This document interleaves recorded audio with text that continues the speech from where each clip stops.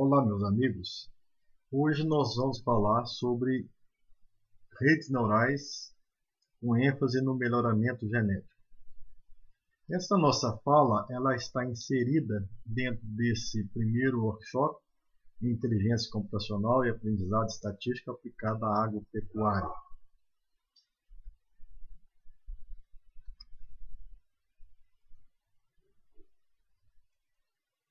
É, o nosso programa de curso ele vai envolver alguns módulos e nessa e neste momento nós iremos tratar das redes neurais. Na primeira etapa falaremos sobre alguns princípios teóricos e na segunda etapa algumas implicações, principalmente destinadas a problemas de classificação e a problemas de ajuste de modelo. O nosso conceito inicial de inteligência computacional é a área que estuda teoria e aplicação de técnicas inspiradas na natureza, como as redes neurais, a lógica nebulosa ou lógica fuzzy e a computação evolucionária. Agora iremos tratar de redes neurais. As redes neurais é uma abordagem inspirada é, no neurônio, trata de problemas computacionais não lineares e requer principalmente algumas propriedades bastante verificadas em características humanas, tais como aprendizado, associação, generalização e abstração. As redes neurais têm sido bastante efetiva eh, na resolução de uma série de problemas, em, especial problemas classificatórios, problemas de ajuste de modelo, mesmo aquele que tem uma relação de não linearidade, que você tenha dados incompletos, alguns com problemas de ruídos, ou até mesmo com exemplos contraditórios. As redes têm se mostrado bastante eficazes para superar todos esses tipos de problemas. Pois bem, como o nosso público está bastante vinculado a uma área da estatística experimental, seria bastante oportuno fazer um comparativo do tratamento estatístico e da abordagem de inteligência computacional é, fundamentada em redes neurais. É, muitas das nossas questões têm sido resolvidas em, com a, a estatística. É, nós vamos dar exemplo aqui, principalmente na área de e melhoramento.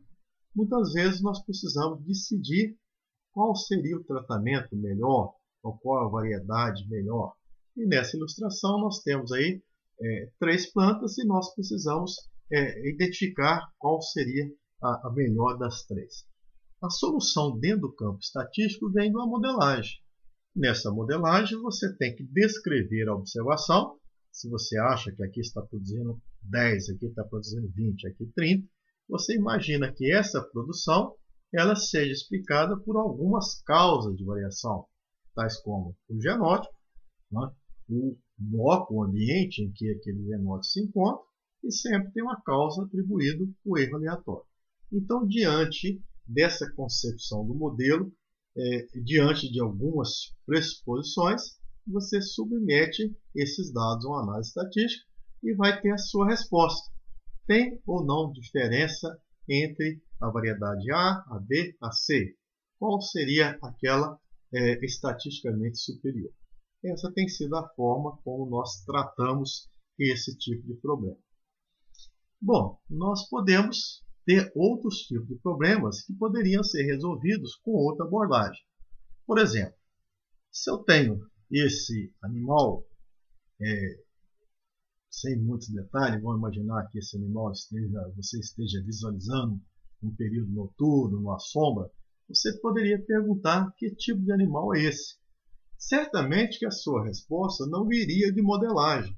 Não existe um YJ, você não vai calcular o tamanho, o peso, se tem pelo, se tem pena, se tem bico, se tem né, orelhas, patas, você tem um aprendizado, você conhece os animais, você sabe que esse é o animal dentro de vários outros que você já tem experiência, já teve conhecimento e, consequentemente, é, você saberia que esse animal é um gato. Então, nós estamos dando a resposta não em cima de um modelo estatístico, mas em cima de um aprendizado, de um conhecimento anterior que a gente adquiriu. Isso que a gente espera transferir esse aprendizado é, por meio de treinamentos para o computador e nos dar resposta. Um bom treinamento vai resultar numa boa resposta. Eu estou apresentando aqui é, é, um, uma pequena curiosidade, um pequeno teste que pode servir para alguns e outros não. Se a gente colocasse essas letras e pedisse a vocês que identificassem a possível palavra, eu acredito que muitos de vocês diriam que a palavra que está aqui é genética, que é uma palavra já conhecida, principalmente é, nós que estamos aqui, vinculados a programa de pós-graduação genética, estatística e tudo mais, é uma palavra bem conhecida. Essa outra palavra pode ser que seja conhecida para alguns e desconhecida para muitos outros. Por quê? Qual seria essa palavra? Para mim é fácil, eu rapidamente identifico essa palavra como sendo Guiricema. Talvez vocês não conheçam, mas Guiricema é uma cidade que eu nasci, uma cidade bem pequenininha, no interior de Minas Gerais. Como não é uma cidade amplamente divulgada, conhecida, não faz parte daquele nosso vocabulário, daquelas nossas relações de disciplinas de, de cidades conhecidas, alguns de vocês teriam uma certa dificuldade. Isso demonstra que as nossas respostas, o cérebro humano trabalha com boas respostas na medida que ele tem o aprendizado, o conhecimento anterior para poder rapidamente é, encontrar uma resposta viável, uma resposta interessante, que seria aquela dentre várias outras é, que ele já conhece. E o nosso cérebro faz isso com uma velocidade muito grande. Então, essa basicamente é uma diferença entre a abordagem estatística, que requer experimentação, e uma abordagem de inteligência computacional, que nós vamos instruir o computador com uma série de informações prévias, com treinamento, e a partir daquele treinamento, aquele equipamento passa a ser auxiliar a um processo de tomada de decisão. Pois bem, é, por que, que nós devemos estudar os temas relativos das redes neurais? É, nesse slide a seguir, a gente fala principalmente para aqueles estudantes é, da, é, que atuam na área de genética e melhoramento, né, como nós temos aqui em Viçosa o curso de pós-graduação genética e melhoramento de plantas. Então, o melhoramento genético já, já é praticado desde do, né, surgimento da espécie humana, a necessidade de alimentos, de cultivar, é, de ter animais, é, e isso é, é, vem, acompanha a própria evolução da espécie humana. É, certamente as maiores contribuições da genética vieram em 1866 com a formulação das leis básicas da hereditariedade apresentada por, por Mendel. É, e hoje em dia nós temos a necessidade de avançar no melhoramento genético. Então, certamente que nós vamos fazer melhoramento como os antigos faziam. Com a simples observação é possível é, identificar material genético ruim, material genético bom. É, né, você vai cultivar aqueles que é, de menor é, qualidade e maior quantidade. A, a simples observação levou a ganhos consideráveis. Certamente que hoje em dia nós precisamos mais do que é, bons melhoristas, bons observadores. Nós precisamos é, do conhecimento científico. Né? É a partir desse conhecimento científico que, ao invés da gente estar distinguindo o ótimo do ruim, eu tenho que distinguir o ótimo do bom. Aí não é tarefa simples. Saber que 10 é menor do que 2 é relativamente simples. Mas tomar a decisão de que uma variedade produz 10 e outra que produz 9,8 qual que é a genética geneticamente superior, é, é uma tarefa é, relativamente complicada. E aí então nós precisamos de ter conhecimento científico, conhecimento científico de várias áreas, desde de genética, de citogenética, genética de população e assim por diante. Se além desse conhecimento científico que a gente é, capta durante a nossa formação, a gente é, incluir nesse processo, é, a, a, no processo de tomar decisão, o processamento de dados, a conversão da informação em, em, em estimativos de parâmetros úteis é, para tomar decisão, certamente que nós vamos caminhar para o melhoramento de uma forma muito mais técnica, muito mais rápida, muito mais racional e principalmente é, otimizando. Porque hoje em dia os programas de melhoramento certamente que tem grande problema de mão de obra, os recursos são, são escassos e a necessidade é, o processo competitivo e obriga com que as empresas, as atividades de melhoramento é, liberem é, resultados, variedade, produto tecnológico de maneira mais rápida possível. Então nós precisamos é, ter conhecimento. E esse conhecimento, então, ele pode ser desde o mais simplificado, né, onde eu tenho uma ampla variedade, onde eu consigo distinguir indivíduos é, bastante diferentes, eu posso ter que aplicar conhecimento em pouca variabilidade. Então eu preciso sempre estar aplicando isso, seja em problemas de predição, seja em problemas de classificação.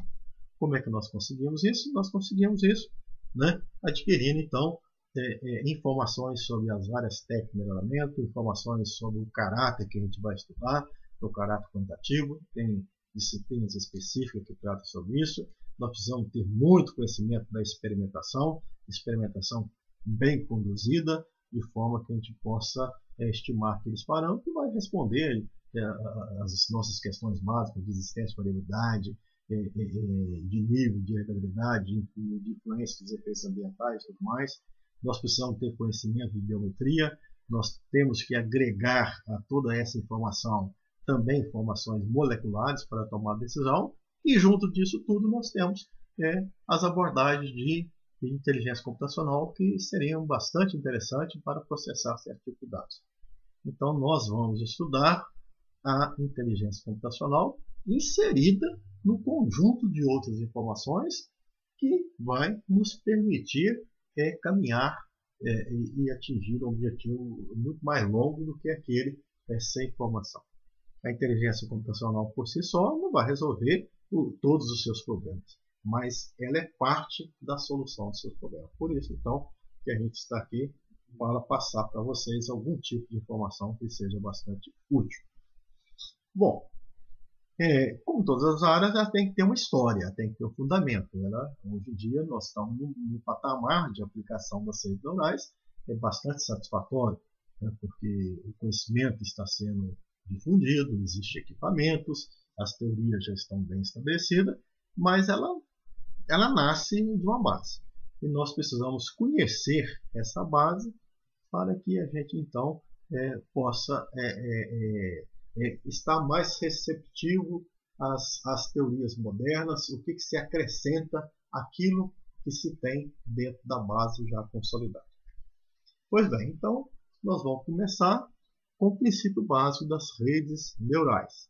Sendo redes neurais, ela tende a imitar o princípio que está inserido dentro de, um, de uma unidade biológica, que é o neurônio biológico. Esse neurônio ele tem algumas particularidades. Ele tem é, esses terminais de recepção, essas entradas de informações, onde chega o estímulo e ele é acumulado dentro do nosso organismo, dentro dessas unidades, e posteriormente é tomada uma decisão. Né? Esses, essas informações é caminho até se ter a sinapse, onde você tem o terminal desse neurônio e essa sinapse vai disparar essa informação que pode ser levado a tomar decisão ou pode ser levado a outro neurônio. Então nós sabemos, por exemplo, é, que uma pessoa que está é, vindo distante, se é homem, se é mulher, se é criança, se é adulto, é através de estímulos. Nós vamos percebendo uma série de coisas.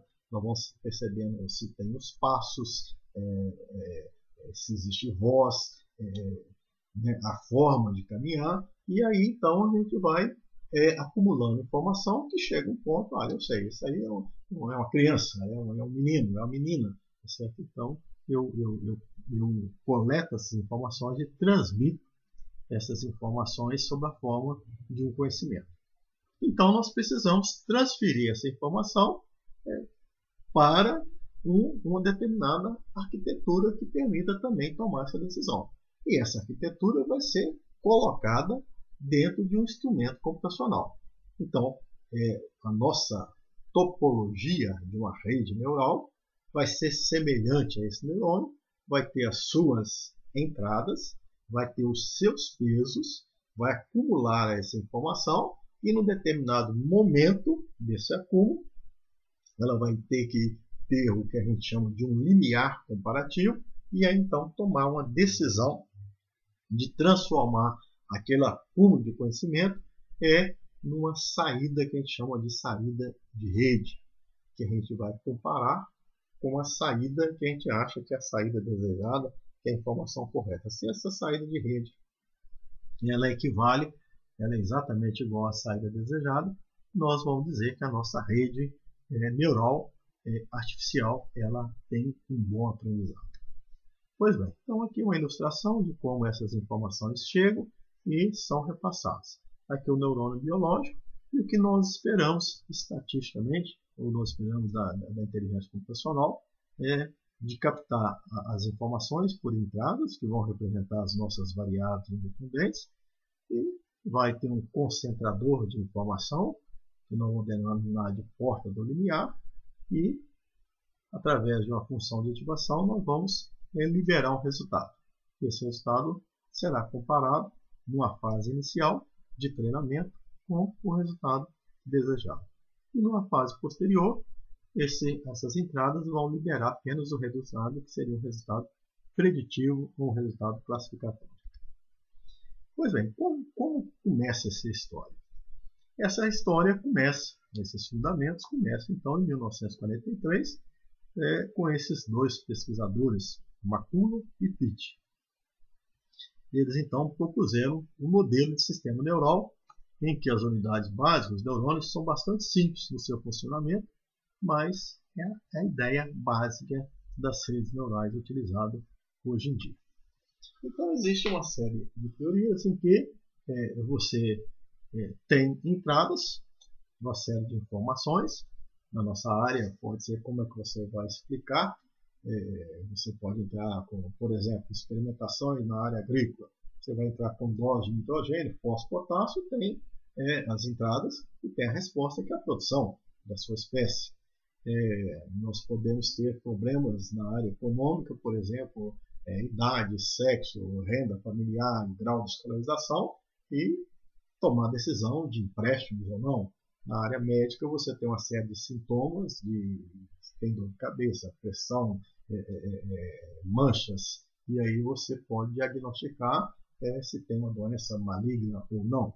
Então existem as entradas e nós temos então as saídas o que nós precisamos, de acordo com o McLaughlin, é assumir pesos para essas entradas e então tomar uma decisão com base nessa entrada se eu tenho uma resposta do tipo A ou do tipo B. Então existiria aí uma saída que a gente chama de saída binária.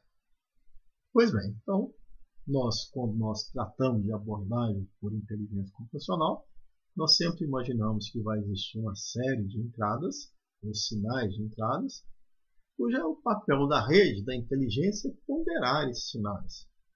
Né? Dizer quais são os sinais mais importantes naquele momento, acumular essa, essas informações num somatório, numa porta do limiar, e aí comparar com esse limiar, com essa fronteira de tomar decisão. Essa comparação ela vai se transformar. Essa transformação demanda o que a gente chama de uma função de ativação, que transforma toda essa informação em valores. Pode ser valor 1, valor 0, ou em estágio mais avançado, valores contínuos, para que a gente é, confira se esse aprendizado foi adequado. Então, ao se tratar de redes neurais, alguns termos como é, entradas, pesos sináptico, porta do linear, linear, função de ativação, saída de rede e saída desejada, são termos que vai fazer parte do nosso vocabulário. Então vamos imaginar que aqui a gente tenha duas entradas e eu vou ponderar essas entradas com pesos. Vou ter um somatório. Digamos que existe aqui vários somatórios. Aqui vale uma razão qualquer, vale 12, por outra razão vale 10. Se o limiar for, por exemplo, 16 e esse valor é 12, eu posso dizer que eu devo converter esses valores é igual a 1. Se esses valores for maior do que 16, posso converter para 2. Poderia ser também um padrão binário. E aí eu, então, vou comparar se esses valores convertidos correspondem àqueles valores reais. Bom, vocês devem estar preocupados como é que eu vou estimar esses pesos, como que eu vou saber o valor desse limiar, e aí então fazer essa conversão.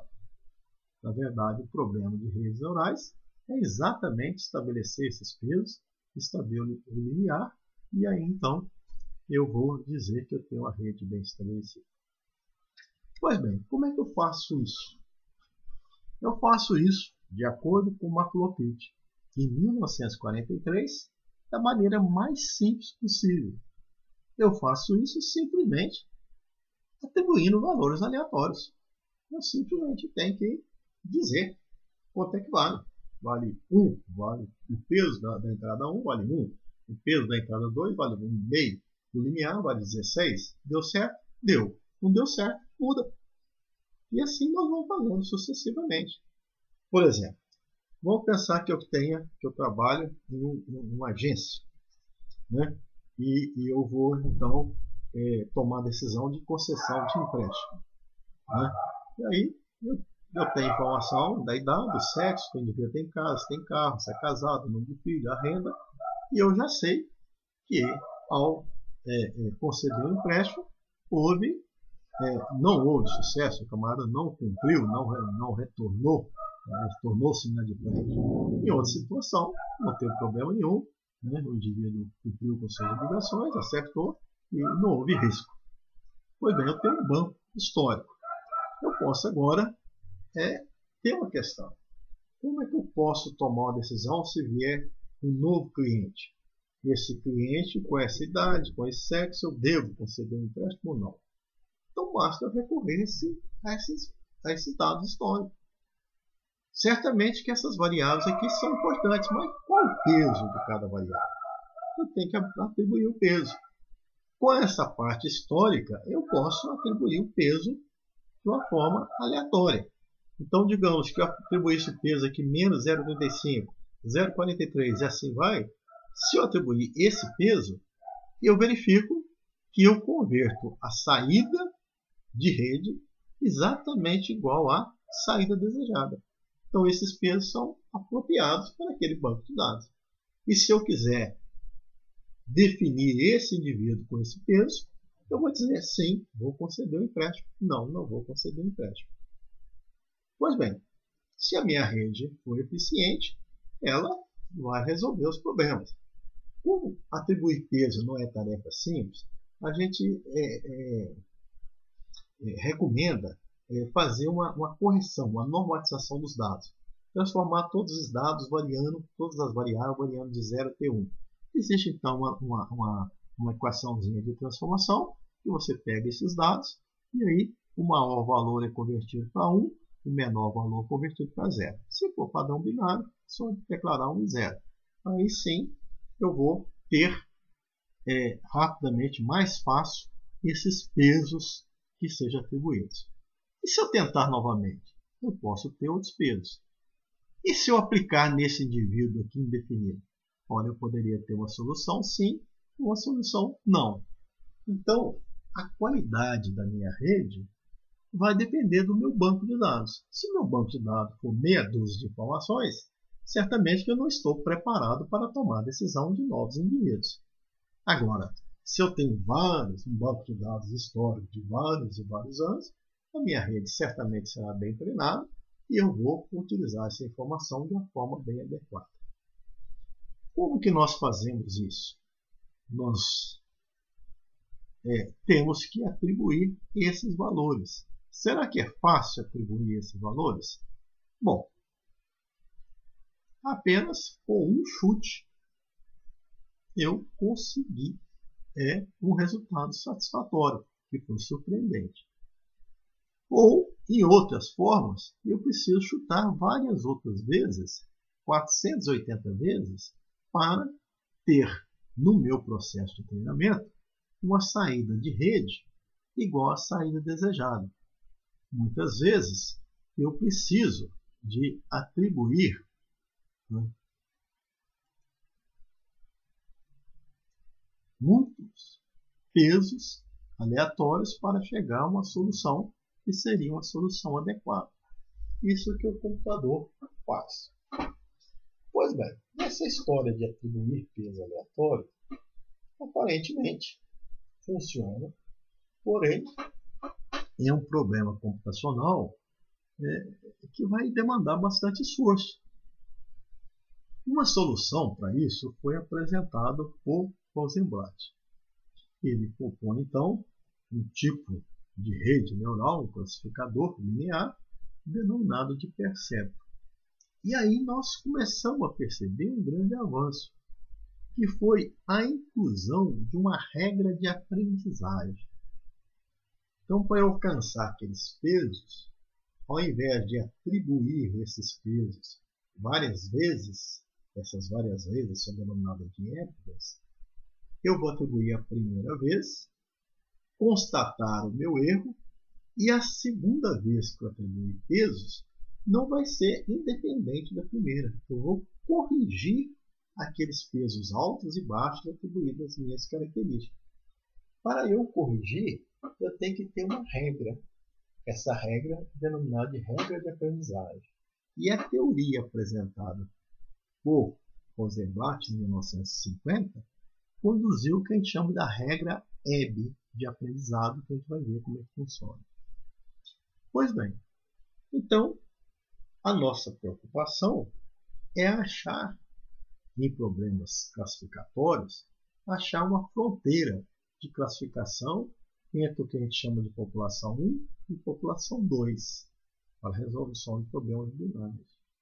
Então, é necessário, eu posso começar com essa fronteira em qualquer lugar e caminhando até eu tenha todos os indivíduos da população 1 de um lado todos os níveis da população 2 do outro lado. Então estaria estabelecido essa regra de aprendizagem. O modelo é exatamente o modelo de Maclopit. Você tem as suas entradas, você tem que ter os seus pesos, você tem que ter o acumulador e você então transforma essa porta do limiar na saída. O que muda é a segunda vez que você fizer tudo isso novamente. A segunda atribuição de peso, no, na época T mais 1, vai ser dependente daqueles pesos que você atribuiu na época anterior. Como que nós vamos fazer essa correção? Essa correção vai existir uma fórmula, vai existir uma dinâmica e a gente vai chamar isso aí de regra EB não é uma solução única, você tem que testar isso várias vezes. Por isso não é um estimador, é uma maneira como fazer essa correção. Nós, vamos, nós não vamos deduzir aqui, mas nós vamos apresentar então como que isso pode ser feito. Para a gente entender isso, nós precisamos imaginar que existe erros, existe um, um conjunto de informações, x. Pois bem, esse conjunto de informações x, quando ponderado por dado, resulta num determinado valor que vai nos informar a saída de rede a ser comparado com a saída desejada.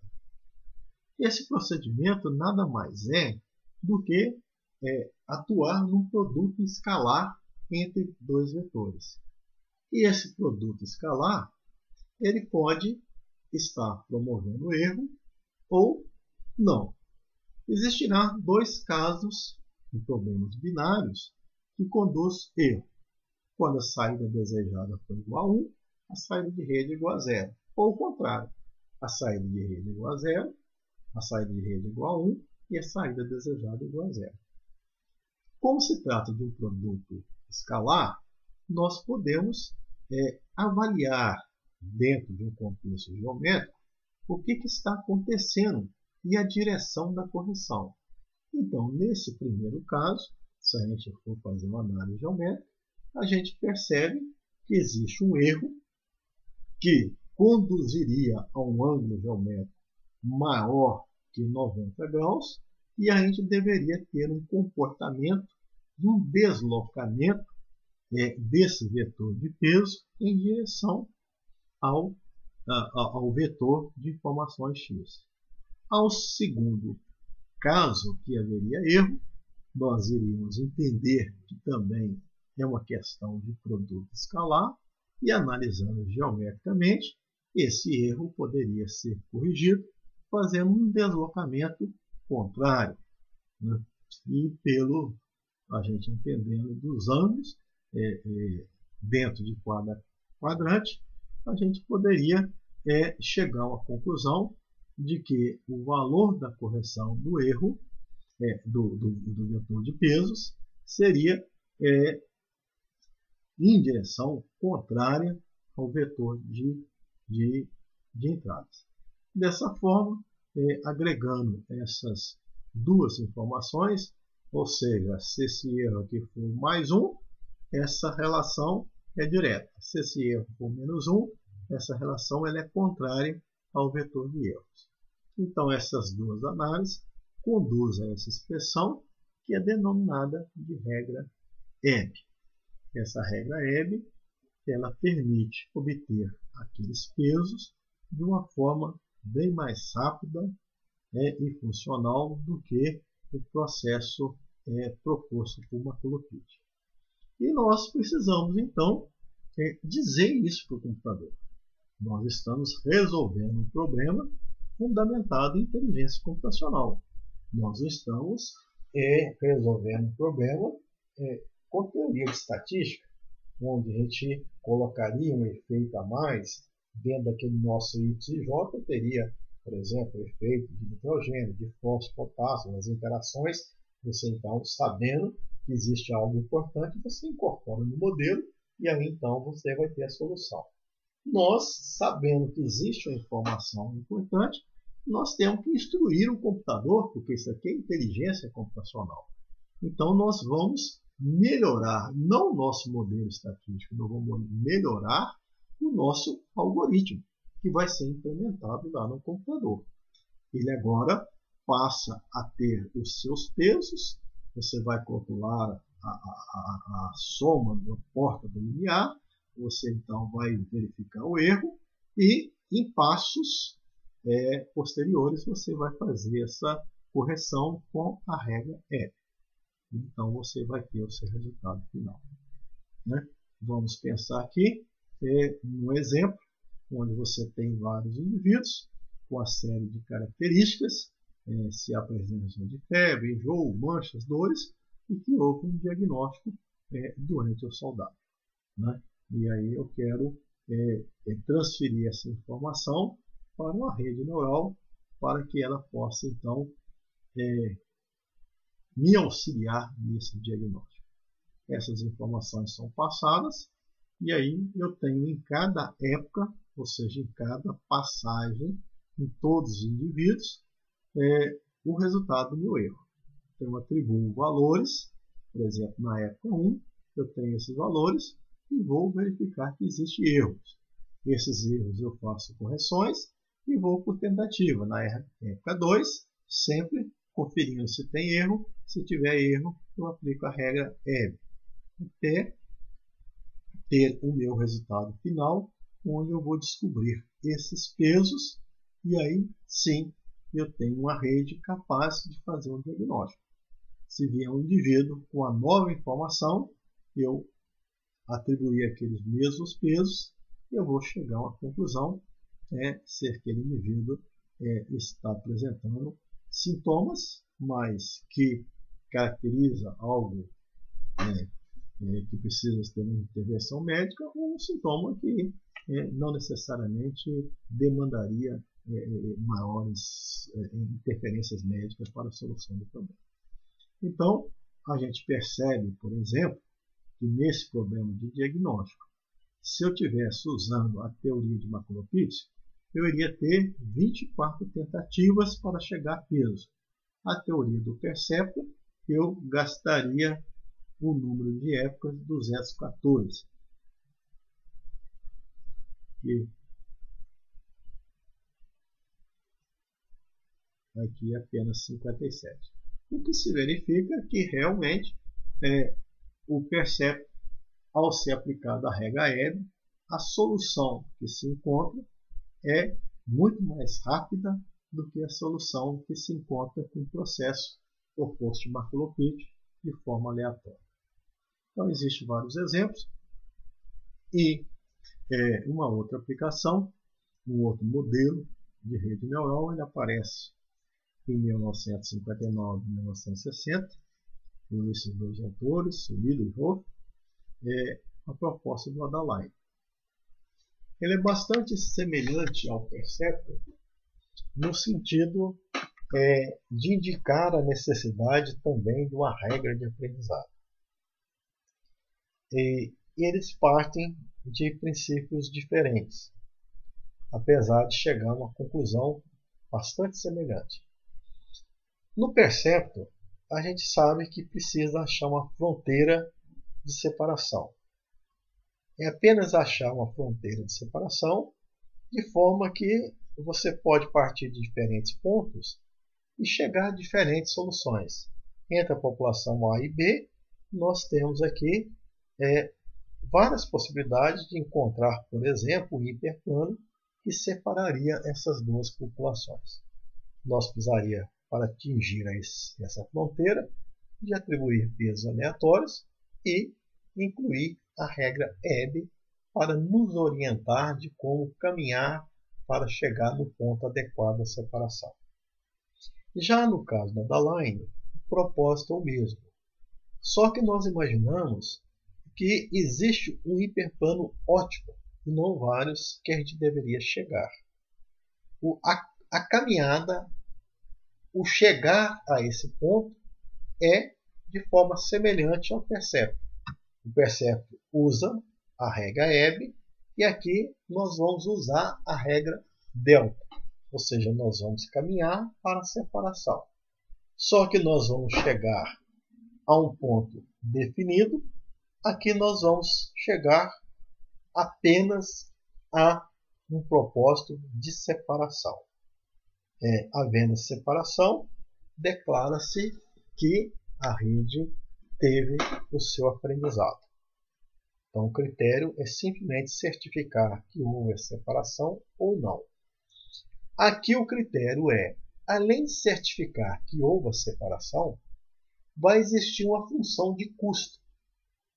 Uma função que declara o quanto essas duas, tão bem essas populações foram separadas. Essa função de custo é uma função de erro, então existe um valor da fronteira que conduz a uma taxa de erro mínimo. Então, se nós sairmos de qualquer valor de peso aleatório, nós teremos uma solução única, porque nós precisamos minimizar essa função de custo.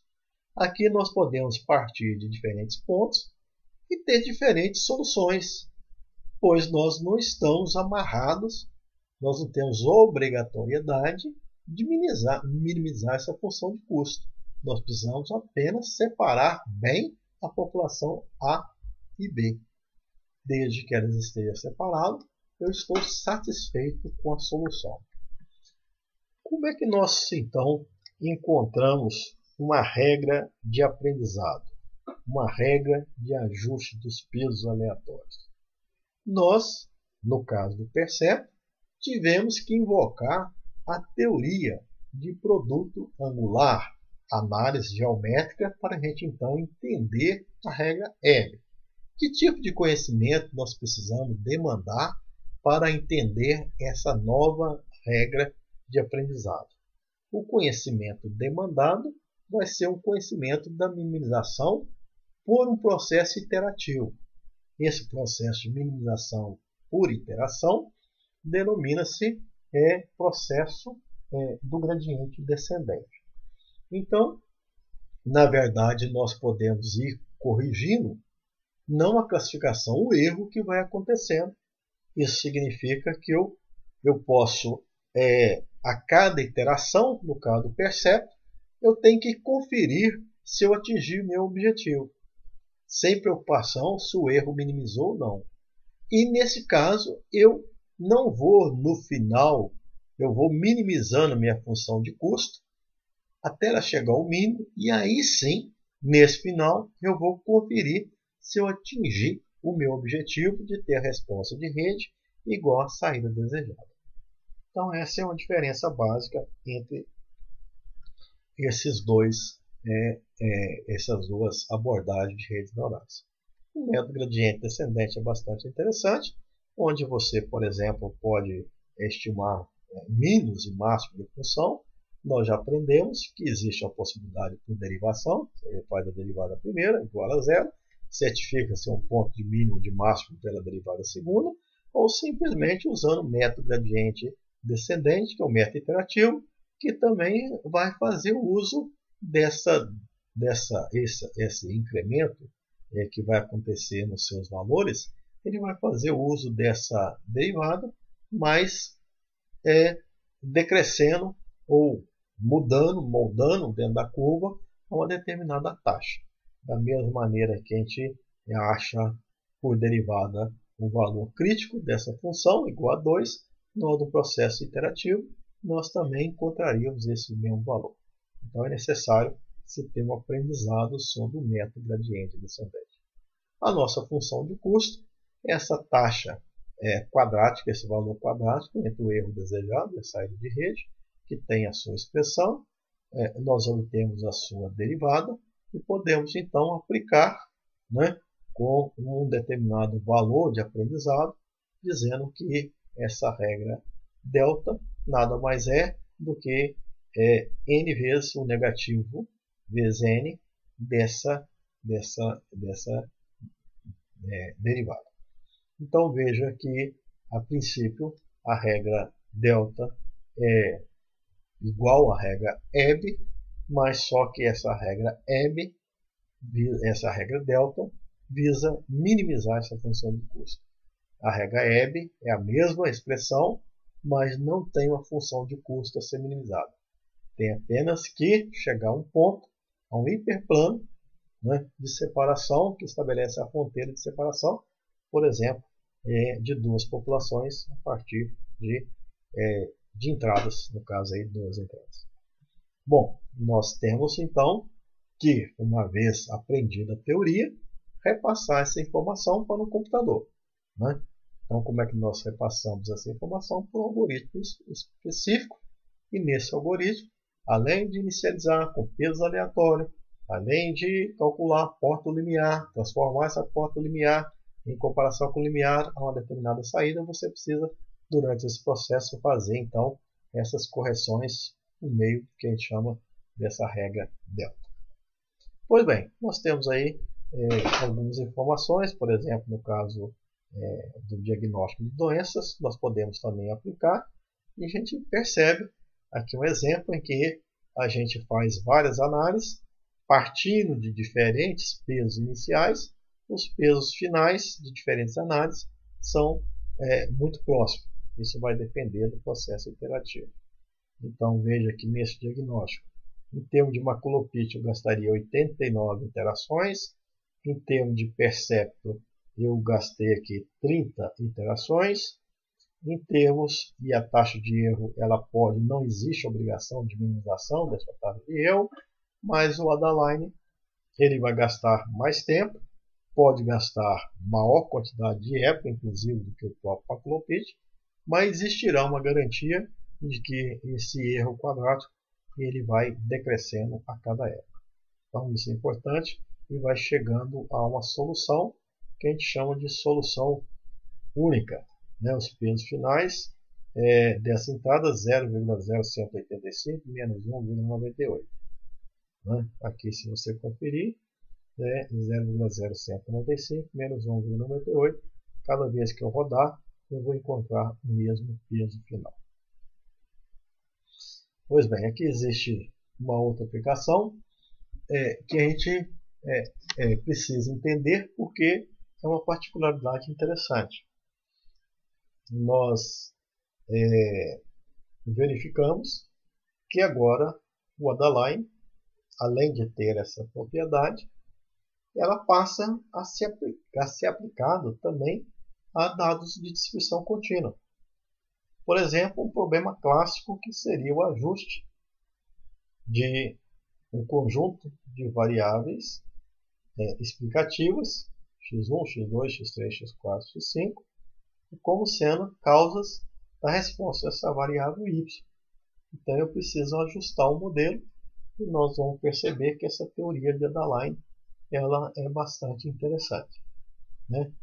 Bom, como problema de regressão, a gente verifica que a gente poderia fazer uma análise de regressão né, usando beta quadrado mínimo, máximo de semelhança, e a gente chegaria a uma conclusão, por exemplo, que o ajuste desse modelo de y, a resposta de y em função das cinco variáveis explicativas, eu teria um R2 de 67,48%. Né? Então, faria as análises da forma convencional que a estatística nos ensina. Eu poderia também aplicar aqui a teoria de Adaline, onde teria pesos iniciais para cada uma dessas variáveis. Esse aqui é a incidência, o peso associado ao viés. Tem os pesos finais e aí obtido por certo número de eco. E eu vou perceber que o quadrado dessa correlação dá um R2 exatamente igual àquele R2 obtido com a teoria de regressão linear múltipla. Bom, então a gente percebe que são abordagens diferentes, paradigmas diferentes, mas para um problema básico de ajuste de modelo, essa teoria de Adaline também se aplica. Eu poderia simplesmente atribuir esses pesos e encontrar esse modelo. Mas, por exemplo, uma questão interessante é se eu fizesse uma análise de regressão em que existisse uma variável x6 exatamente igual à variável x5, eu teria problema de multicolorialidade e certamente uma abordagem simples de regressão linear múltipla ela não poderia ser aplicada tendo em vista que a matriz x' x não teria inversa e, consequentemente, eu não teria solução. Isso não é problema para abordagem por Adaline, se eu tivesse incluindo uma variável a mais, uma variável x6, por exemplo, ela igual a x5, o nosso R2 seria exatamente o mesmo, não haveria comprometimento nenhum da análise. Pois bem, então, é, passado esses, esses três modelos, a gente chega é, agora na, na década de 80, 90, é, apresentação da teoria do percepto, só que agora o percepto multicamada. E ele se fundamentou no desenvolvimento do algoritmo de treinamento de backpropagation, que é um, algo extremamente interessante. Aí sim nós temos as redes neurais tais como são utilizadas nos tempos atuais. Então nesse e a gente vai perceber é, por que, que isso é tão importante é, para o uso das redes neurais. É, isso, a importância do percepto de camada veio fundamentalmente é, em publicações desses dois autores, Minsky e Pippert. Em 1969, eles, eles trataram é, da aplicabilidade então, do Adaline do Percept para resolver os problemas. E verificaram que, de fato, eles resolviam problemas linearmente separáveis em que esses problemas linearmente separáveis eram um conjunto de problemas muito restrito, muito pequeno para dizer que uma rede neurais viria para é, resolução de problemas. Ou seja, ele seria apropriado por uma fatia muito pequena dos grandes problemas que se encontram na experimentação. E a gente pode começar é, com esse exemplo em duas entradas. Né? onde você tem x1 e x2 representados nesses eixos, e você tem aqui é, duas populações. Nós teríamos apenas quatro indivíduos. Então, a gente percebe rapidamente que essas populações aqui não são linearmente separáveis. Não existe uma fronteira a ser encontrada pela teoria de rede neural que separaria essas duas populações. Então, uma das propostas geniais para a separação dessas duas situações foi criar uma informação a mais. Ao invés de ter apenas x1 e x2, eles imaginaram que poderia ter a informação z1 e z2. O que, seria essa informação z1 e z2? São informações abstratas que vêm do que eles chamaram de uma camada oculta. Ou seja, eles imaginaram que nessa camada existe uma camada de entrada, que nós até conhecemos, x1 e x2. Existe uma camada de saída, que é a saída desejada, que deve ser confrontada com a saída de rede. Mas existe aqui uma camada que eles estão admitindo que é uma camada oculta, um trabalho desse neurônio. Esse neurônio 1, esse neurônio 2, ele passa a ter essas funções de pegar esse valor de x1 e fazer um produto com não x2. Então esse neurônio ele pega x1 e multiplica por não x2, ou seja, multiplica por 0 vezes não x2 é 1, 0 vezes 1, 0. 0 vezes 0, 0. 1 vezes 1 igual a 1. E transforma em Z1. Z1 é a consequência da operação desse neurônio 1 que gera essa informação. Existe o neurônio 2 que tem outra atividade. Ele pega não x1 e multiplica por x2 e gera z2. O neurônio 3 ele soma. Se ele somar esses valores, você vai perceber que a saída de rede vai ser 0, 1, 1, 0, exatamente igual à saída desejada. Então esse problema que não era, é, não tinha solução por uma teoria que tinha apenas a capacidade de resolver problemas linearmente separados, ele, nós temos agora uma teoria semelhante com a capacidade, desde que eu admita que existe, além da camada de entrada e camada de saída, camadas ocultas. Quantas? Como? Tantas quanto você desejar e cada camada oculta tendo uma certa quantidade de neurônio que você também é, desejar de acordo com o seu problema. Pois bem, então isso é uma ideia né, que viabilizou e viabiliza hoje a utilização das redes neurais, mas que trouxe aí um, uma, uma dúvida. Porque toda teoria de redes neurais você tinha uma entrada, uma saída de rede que comparava com a saída desejada, e você tinha erros. E esses erros orientavam a modificação dos pesos seja pela regra L, seja pela regra delta. Mas quando você passa de entrada e vai para uma camada oculta, essa camada oculta libera saída. Essa saída da camada oculta, ela tem erro ou não tem erro? Eu vou comparar com quem? Eu não tenho uma saída desejada para a camada oculta. Eu tenho uma saída de rede para a camada oculta. Então ficou a dúvida de como ajustar esses pesos diante do fato que eu não sei se eu estou com erro ou não. A ideia foi então propagar esse erro. Não preocupa com o erro da camada 1, nem da camada oculta 2, nem da 3. Quando chegar na camada final, você então verifica o erro. Se existir o erro, você volta, você retropropaga você volta corrigindo, você não vem do início. Você volta para, para a última camada oculta, para a penúltima, para a antepenúltima, até chegar à primeira camada oculta, vai fazendo a retropropagação. Você vai corrigindo esses erros. E aí então volta-se o início e o processo reinicia em novas iterações.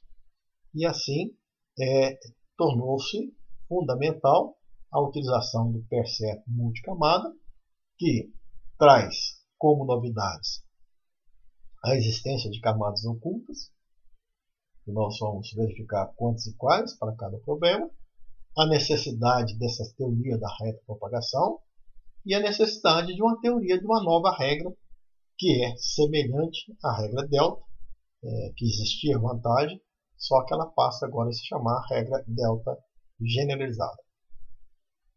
Pois bem, então o que é uma rede percepto multicamada? A rede percepta por camada é aquela que tem essas camadas de entrada, elas com as suas informações, as camadas ocultas e a camada de saída. Para cada camada oculta você pode ter, né, você pode ter várias, uma camada intermediária ou várias camadas com vários neurônios e a cada camada você tem funções de ativações específicas. O número de camadas ocultas. Bom, já existe uma série de informações. Tá? Esse assunto já é trabalhado em diferentes sites sobre o que seria recomendável. Né? É, a gente tem é, que ter também experiência na nossa área. A gente verifica que às vezes duas, três é, camadas ocultas resolve a maioria de problemas de ajuste modelo ou problema de classificação. É, isso vai ter que ser feito em pesquisa exaustiva, é, onde a gente vai dizer em problemas diferentes para ter a concepção é, do que, seria melhor para os diferentes problemas.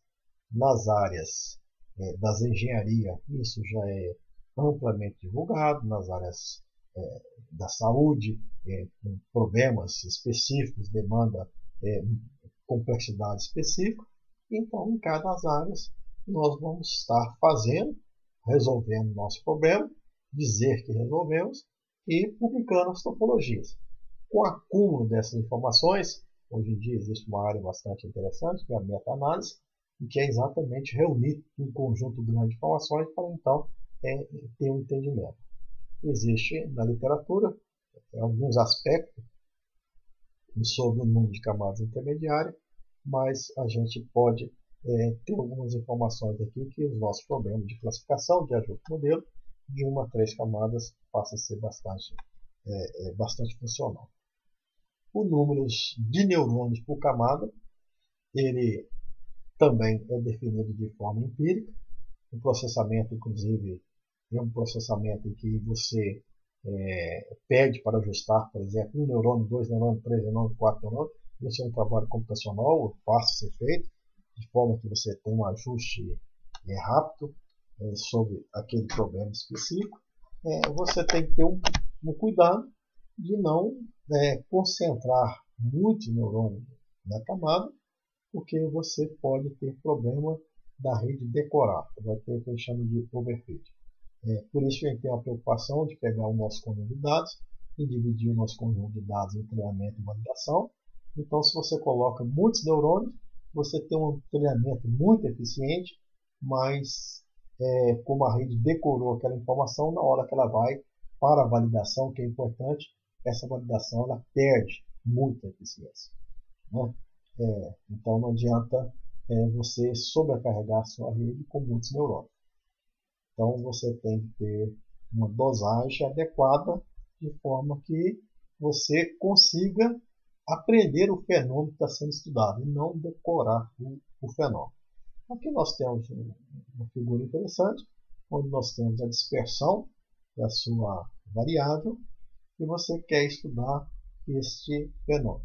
Se você coloca pouco neurônios, ele faz um ajuste pobre e grosseiro que não retrata bem o que está acontecendo. Se você coloca número de neurônios excessivo, você então é, é, muito eficiente, mas você decora esses pontos com perda de capacidade de extrapolação. O interessante seria uma quantidade de neurônio razoável, que é possível entender o fenômeno sem decorar o fenômeno.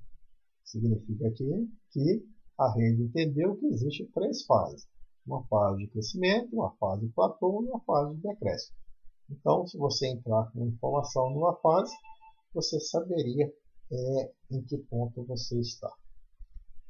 Pois bem, essas camadas ocultas, você pode estabelecer duas, três, quatro, dependendo da complexidade do seu problema.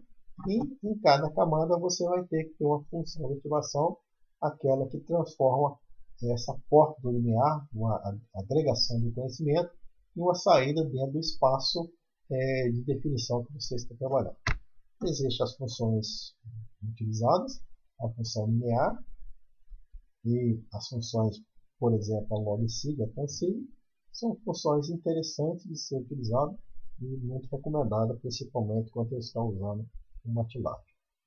O algoritmo de treinamento ele tem duas etapas, a etapa que você caminha da entrada até a saída desejada, passando pelas camadas inter, é, intermediárias e camadas ocultas.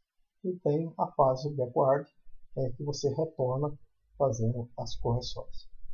É uma teoria que deve ser aplicada, né, onde você tem os pesos e as saídas que vão sendo caminhadas, e a fase é, que retorna com é, a essas informações. Pois bem, então essa é uma, são as nossas recomendações e como consideração final, para você então ter é, que tem um problema a ser resolvido por rede, percebe por camada, você tem que ter é, organizado os seus pensamentos focado no tipo de problema. Então você tem um problema classificatório, um problema de agente modelo, você tem que ter então um conjunto de dados né, para treinamento, seria interessante, e um conjunto de dados separado para validação. Muitas vezes o terceiro conjunto de dados também é demandado para teste. Existe a possibilidade de algumas redes trabalhar é, simultaneamente com treinamento e validação para fins de, de, de opção de acelerar o processo e garantir é, uma validação eficiente. Mas nesse caso, um terceiro conjunto seria interessante, que o conjunto de teste. De maneira geral, a gente usa os três ou dois conjuntos. Um conjunto de treinamento e um conjunto de validação. Você tem que parar e escolher a sua arquitetura.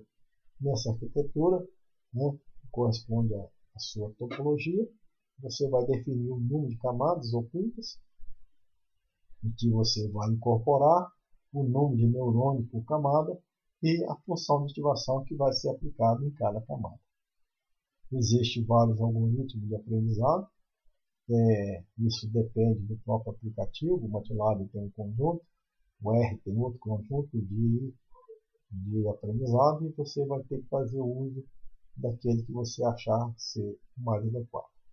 Você tem alguns parâmetros que vai garantir a eficiência, a velocidade, né, e, e a precisão ou acurácia do seu modelo, que é o número de ecos que você gostaria de deixar rodando, o erro quadrático, normalmente ele é sempre visto, tendo em vista que é, você gostaria de usar essas regras delta, delta generalizada, e a necessidade de minimização de erros. Ou um critério de otimização qualquer, é, pode ser em modelos, você pode usar um critério de otimização, maximizar o R2, minimizar a taxa de erro de classificação. Então, existem vários critérios que, além do erro quadrado, você pode incorporar. A gente tem essa frase que acho bastante interessante, que a seleção dos parâmetros da rede é um processo tão pouco compreendido que muitas vezes é chamado de magia negra. Você tem que adivinhar, mas você tem que saber que pequenas diferenças nesse parâmetro vão levar a grandes diferenças tanto no tempo de treinamento como na organização. E que isso é, na verdade, ciência é, que tem que ser feito de uma maneira bastante consciente e entendendo os problemas que se pretende resolver. Dessa forma, a gente tem êxito na aplicação de nossas redes neurais.